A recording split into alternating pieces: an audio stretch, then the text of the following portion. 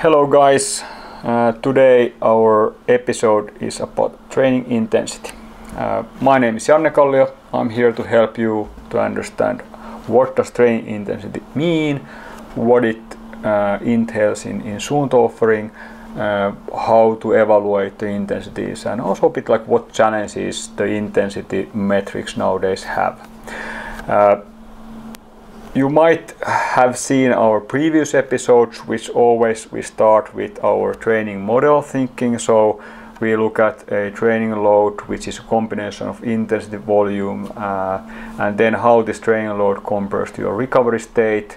Uh, are you able to recover? How you can enhance the recovery, and then how this fit into your daily daily life.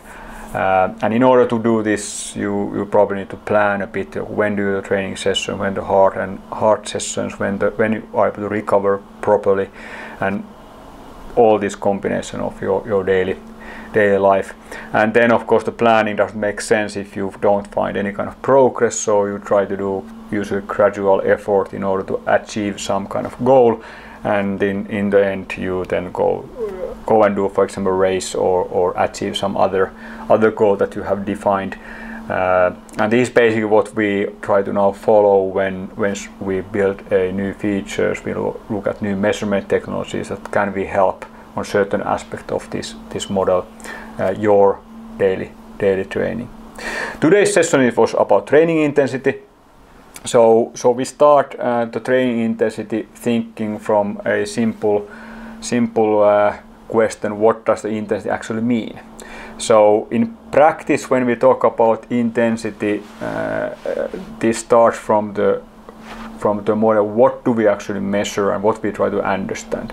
So, the idea there is that the intense training intensity uh, is based on a thinking where uh, we look at your metabolic state, what you what where you are in, in a certain certain exercise intensity. So for example, when you are working aerobically, it means that there's enough oxygen flowing uh, through your lungs uh, to your bloodstream while heart is pumping, and this oxygen is then used to burn uh, burn uh, energy and, and create movement and and this aerob in aerobic index you can you can keep uh, working like several hours like you know six hour hike as an example. And when you start to increase uh, the intensity so you can kind of go a bit faster or, or you do more effort at some state you start to cross over so-called aerobic threshold which means that part of the work is already anaerobic means that the oxygen that you take in is not anymore enough uh, to burn all that energy into movement. So in practice, there start to be part of the effort uh, anaerobic, which means that there's also lactate in your bloodstream, which is using the same energy cycle. So for example, this intensity you can sustain, depends a bit of which, which level you are, uh, for one hour or, or perhaps a bit more. Again, for example, you can run a half marathon around this anaerobic uh, intensity. And then once the intensity increases even a bit more, uh, you cross over so-called anaerobic threshold, uh, defined usually, for example, based on that your lactate starts to accumulate in your bloodstream, and, and then above this uh, is an effort that you can sustain only, only like you know 10-15 minutes, for example, if you are doing max max out efforts. So these are basically like three different uh, ranges, which are divided with this uh, threshold numbers. And and part of this is of course a bit like a uh, bit like a, a uh, uh, based on long-term research and, and defining how this could be measured. And usually in, in laboratory it's more like a, uh, accurate methods that how you define a, a what what is certain kind of threshold where the accumulation of lactate happens or where the ventilation changes but this is a basic principle what what the training intensity means in in uh, in different different uh, sports and, and different uh, different uh, devices and, and, platforms. Now, when we illustrate this uh, these zones in uh, in ramp up protocol, so here you can see in x-axis power and y-axis heart rate. So when we draw a graph, once your in effort uh, grows, so in this time cycling power, running power increases, the heart rate increases in the same time. This of course very personal, which level you start, which, which level you will reach. Uh, and then when we, for example, measure lactate, you start to see some type of uh, exponential curve, so, or, or at least some, some uh, higher numbers at the end, uh, which is indication that something happens in your body. So, so there's a, there's a, there's not more everything is aerobic at the start and then then more anaerobic as you go. And then there's a uh, these are then divided as, as previously explained in in three different let's say ranges. And uh, and uh, between them are those those uh, two different threshold uh, definitions. And then uh, the question is of course that okay you have a three three zones but hey I would like to get a bit more clarity on on do I today when I do an aerobic run? Should I run uh, run with my heart rate being 100 or, or 120 or do I should I ride with the power 120 or, or 180 so that's why uh, and many others also divide these three distinct areas in in bit more detailed granular level zones so five five zones. Uh, these five zones. So for example, where is the line between zone one and two? Uh, there's no like a physiological explanation where it is, uh, where aerobic and anaerobic is based on, on the understanding what happens in your, your body. And, uh, and then when you look at the Suunto zone setup, uh, the zone 4 to 5 limit is set as an anaerobic threshold limit uh, which you can measure in different ways. But when you set up the heart rate zones or pace or power zones in your product, uh, you should set the zone 4 to 5 limit into your threshold uh, if you know it. And then uh, aerobic uh, threshold between zone 2 and 3. In previous episodes we talked about training load and it's, it's good to understand this zone 4 to 5 limit is being used in training load calculation. The, the intensity zones are shown in, in Suunto products, of course, with pace, power, and, and heart rate values, depending which one you want to use. Uh, in real time in different ways and also in after analysis. So, for example, the training zone overview page illustrates how much time you have spent in different zones uh, during this week and has that changed uh, compared to last six weeks? So you, you are able to quite fast see that if you do more aerobic work for example this week uh, or less uh, VO2 uh, area work this week. So you can see the difference differences uh, uh, just by glancing these few few graphs in the training zone widgets. Then a, a, a bit of the how you actually define and set up these intensities uh, how do I know my zones? Now, when you take Suunto watches into use, we will ask uh, your age and then estimate your maximum heart rate. Based on this maximum heart rate, we then split the zones uh, based on research that where they normally are. Uh, and there we have a let's say best possible estimation that that okay if no if we don't know anything else uh, this is your aerobic zone, this is your anaerobic zone, and so on. However, it's good to understand that this age-based uh, maximum heart rate uh, has a lot of variety. So here is an illustration of, of where where there's a uh, population age compared to the maximum heart rate on the on y-axis and each dot represents the actual data so so in practice the the blue dots are men and red dots are women. And then uh, the black line illustrates uh, what is the estimated maximum heart rate depending of the age. So you can see this graph declining uh, gradually. And this basically is just an example where you can see that there's not that many people who actually fit into this line meaning the maximum heart rate that we estimate based on your heart based on your age in average is okay but in principle every person has a different maximum heart rate and therefore the zones that we derive from there are also a estimate that have a lot of variance so that's why we always uh, uh, encourage people to to test themselves or train train in a, in a harder intensity to evaluate how they should change the zones.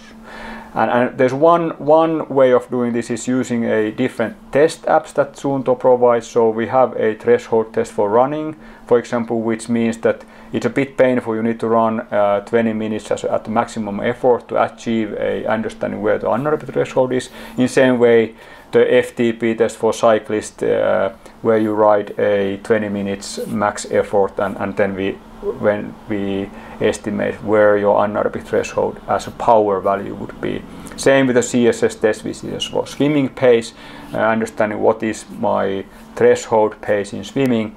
Uh, all in all, you can test these, and and of course different sports have different different zones, different levels. So so uh, heart rate zones in cycling and heart rate zones in running is a bit different but but again it makes sense that those sports that you mainly do uh, you try to try to get the zone setup correct. Uh, it helps you to understand how you are training and then also different evaluation calculations Suunto provides for example training load metrics are then then uh, working accordingly. Uh, there are of course a different zone setups models, a different kind of guidance uh, given by given by different uh, different uh, magazines and, and medias, etc. So it's always good to carefully look at the guidance, what is meant when we talk about a active recovery zone or, or tempo zone or sweet spot. Uh, in this table we try to bit uh, illustrate the, the different models and, and percentages and how they are mapping to each other. Uh, so for example, there is a talk about what does a sweet spot training mean. So it probably is around uh, zone 3 to 4 uh, and, uh, and what is the percentage from the anaerobic threshold.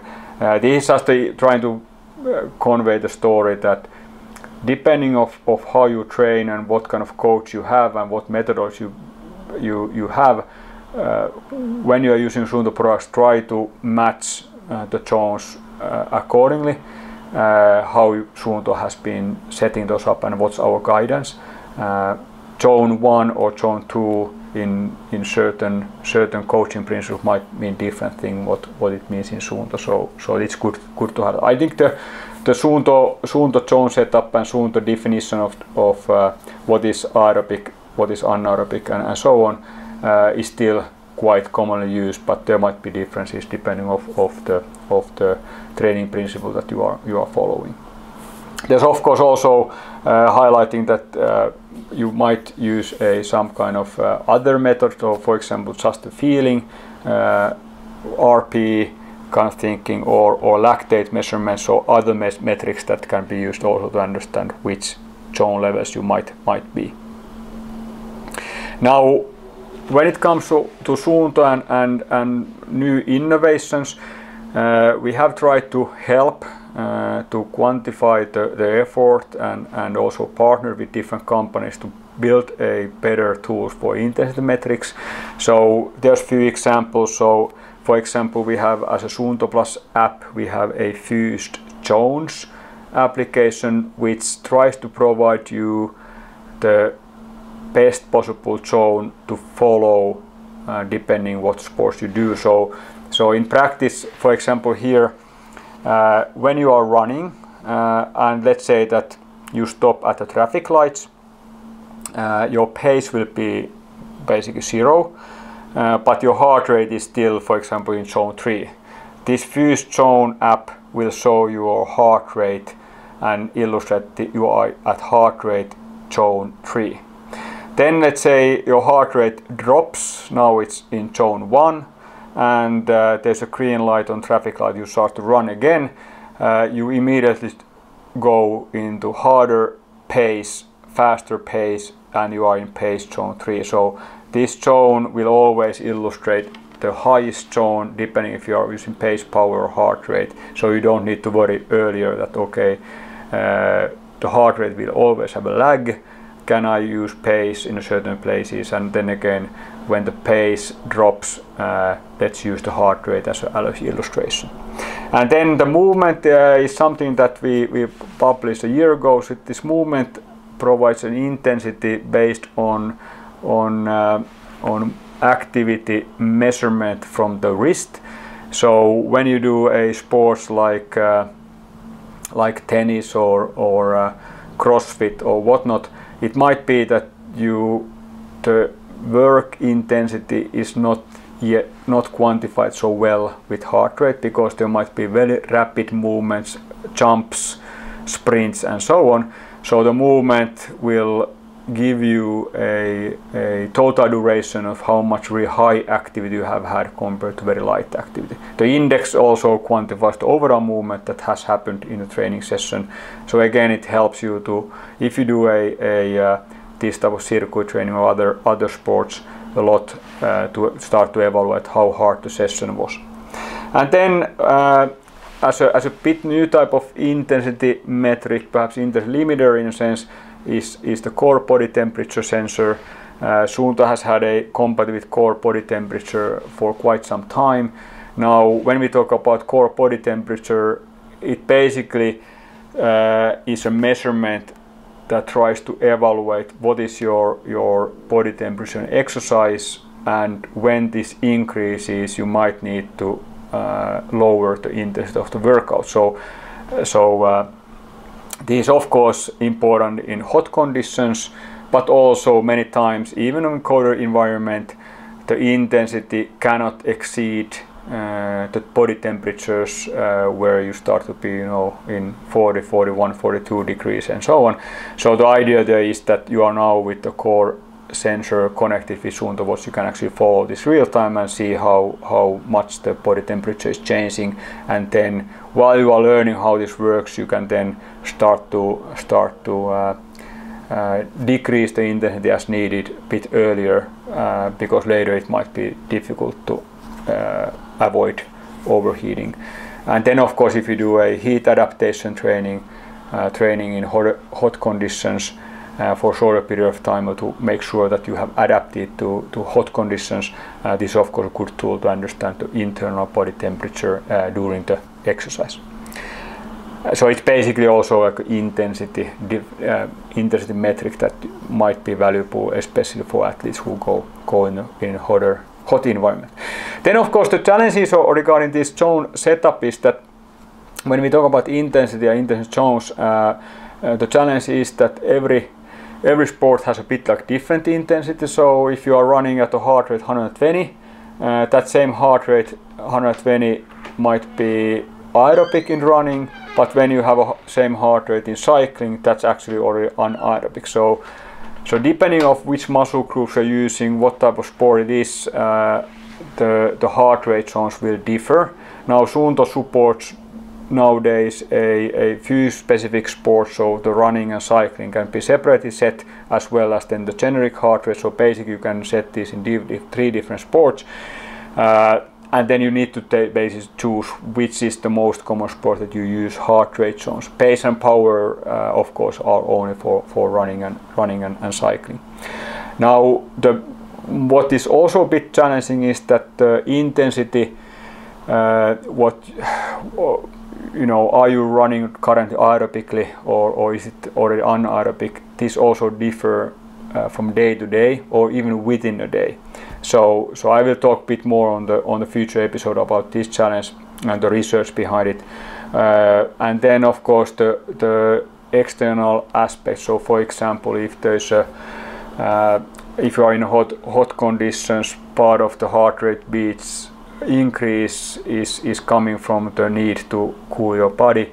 So even you are not uh, even when the heart rate is going to zone 3 or zone 4, uh, we are still working aerobically way because now the heart is just pumping so fast uh, to, to, to cool yourself down. So the understanding what is the right intensity in, in hot conditions or in altitude, for example, is, is much more tricky than, than just setting up the zones uh, originally somewhere.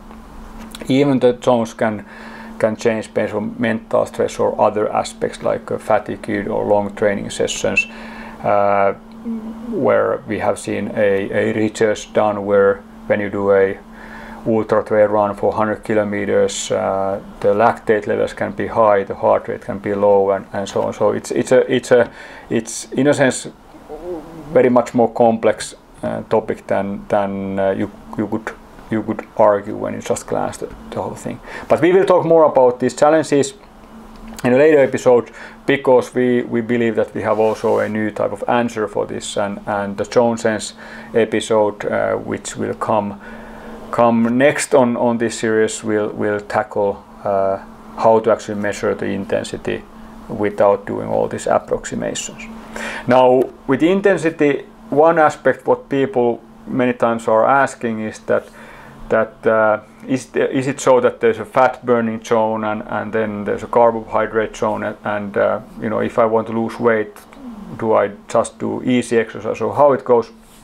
So when we look at this uh, same principle of, of increasing intensity and where the power and heart rate is increasing on the table when we look at a, a uh, uh, basic principle where you use more fat and, and then uh, where you use, for example, more, more, carbohydrates. In, in principle, it goes like that, that, that with lower intensity, the share of fat is higher than carbohydrates, but when the intensity increases, the carbohydrate usage increases and, and the share of fat will start to decrease. Uh, however, we need to remember that ha harder to you work, more energy you will need and energy will consume. So in practice it also means that if you look at the total calorie volume that is, is burnt, it's of course higher uh, when you work work more. So even when you just try to lose fat, uh, even working higher intensity, actually your, your body will burn more more calories, and then how much you eat will will basically then define are you losing losing weight or not. Uh, this is the challenge regarding how much fat or carbohydrates you are burning and is of course a depending of what you are what you have been uh, consuming and what is your your your body uh, and uh, and this might differ a lot. A simple example is that if you if you are in, ketosis, you, you haven't eaten any carbohydrates for a while, you of course burn only fat and, and not carbohydrates. So that's a simple example to illustrate that it depends what you do we try to illustrate this, uh, these values also with, with our burner Suunto Plus app. So if you want to understand a bit of how much grams per hour I'm, I'm losing and, and what's the ratio, you can you can look at that as well. So again, trying to give a bit of, of indication about those intensities when it comes to uh, energy energy uh, expenditure. Uh, then when we talk about intensity uh, there's also a, a aspect that okay what's actually impact of my training session? And and uh, this is a question which is similar for training load that the workout impact is not just about intensity but also a duration. And again what, what Suunto tries to do is we try to eval- provide you an indication of the impact by looking at the training intensity. So uh, in this graph you can see that while the intensity increases we look at uh, the impact by saying that okay this was recovery session short duration bit bit higher intensity aerobic session uh, and, and, so on. But then when we when we start to change the duration so for example we quantify uh, the individual workout as long aerobic when the duration is long enough and then heavy aerobic where the intensity and load combination with duration is, is big enough. And then anaerobic hard uh, it just means that you are higher intensity but it's also heavier load so it's a bigger effort. Uh, and, and the only reason why we do it is that it makes it simpler for you to try to see that okay I have now done 10 training sessions this week what type of training sessions there were what were the impacts and then additionally because as mentioned in earlier episodes, it's very difficult for us to measure uh, things like flexibility or strength or speed.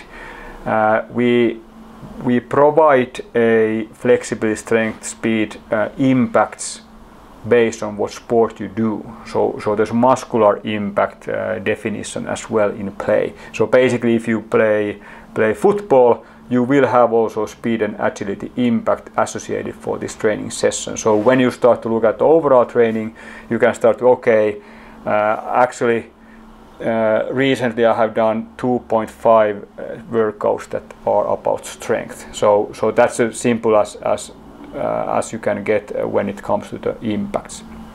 And when we look at then a, a Suunto mobile application and, and we look at the training zone overview, uh, this this uh, is an illustration how do we show you what have you done regarding this impact. So basically you can for example see that I have had a, a two aerobic uh, sessions this week where normally I have 3.2 so that's in the last six weeks. So this again gives you a bit of glimpse that okay am I actually training now more on my, my upper end uh, VO2 max anaerobic topics or, or do I do more muscular impacts or, or do I do more aerobic sessions?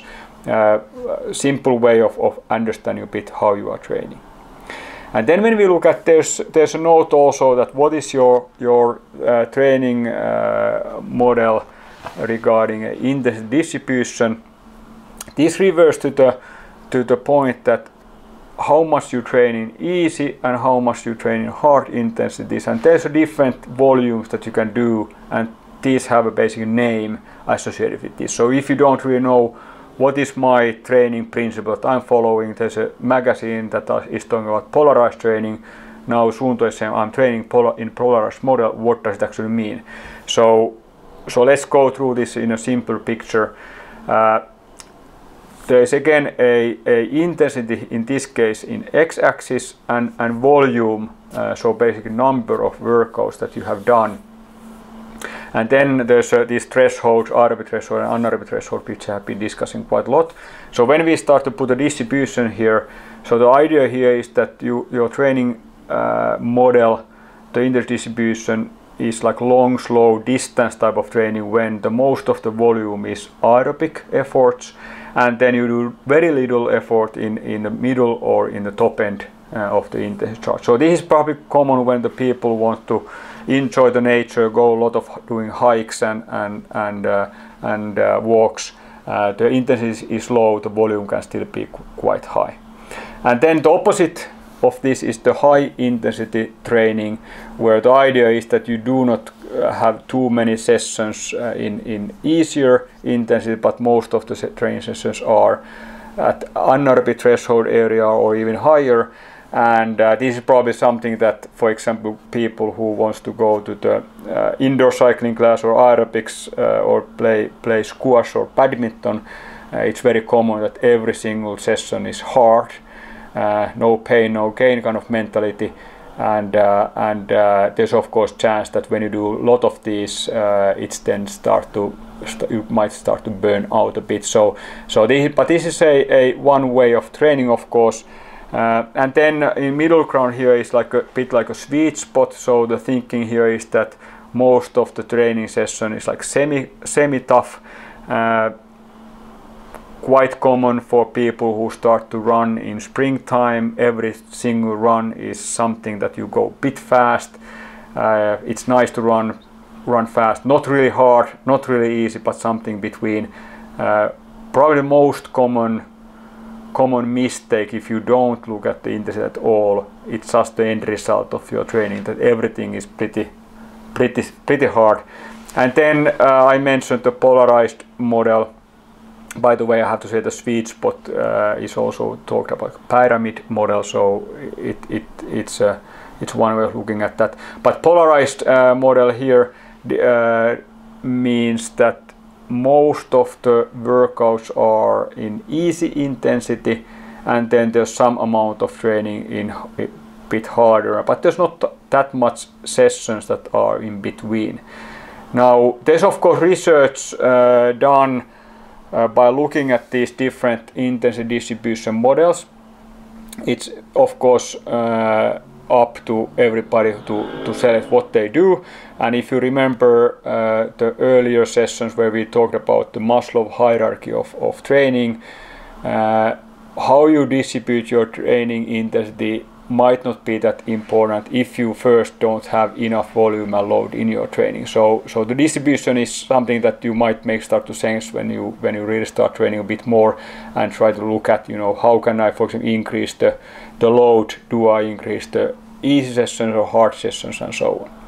But this is one example that was published. Uh, a while ago was it Marit Björgen who is a, a has been one of the most successful cross country skiers from Norway, and uh, this is a training uh, training intensity distribution uh, during one season and this is quantified uh, as a low intensity, mid intensity, or high intensity training, and then some strength and speed effort as well. And uh, and the bars you can see on the graph is basically a preparation preparation seasons, and then uh, race season, uh, and uh, and there's some specific season between. And uh, what you can easily see here that most of the training, which here is in, in the biggest months is, is huge, close to 100 hours a month, uh, is at low intensity.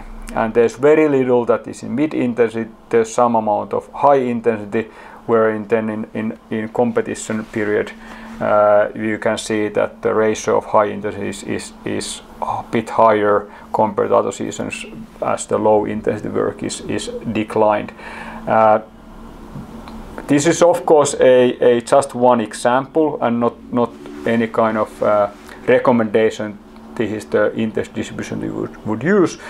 Uh, one could claim that if you are training close to 100 hours a month, like 25 hours a week, uh, you cannot really have that type of volume if it's more more high intensity efforts. But there's also some amount of research uh, published that even with the lower volumes, which is normal for, for you and me, uh, it could still make sense that that you populate your your week mainly on the lower lower intensity work, and then there's just part is a higher intensity. So again, we do not, as Suunto, we do not recommend that you would train in a certain model, but we give you tools uh, to evaluate and quantify how you are training and how this training compares what you have done in past.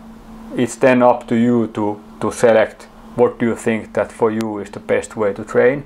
Uh, we will have some we have some guidance uh, to, to provide you some insights, but currently in the end it's it's up to you to think that okay for me the best training model that I will follow uh, in the intensities is, is for example polarized model or, or lower intensity effort uh, for this season. So so again we provide you tools and guidance uh, but not really select uh, the best possible model for you. So that's perhaps something that we will do in future but but not for now. Good that was uh, it for the training intensity i hope again you learned a bit something more new and uh, next time we we talk about ZoneSense, uh, which is definitely new for everybody who will who will watch that episode. Thanks for your time and see you next time. Bye bye.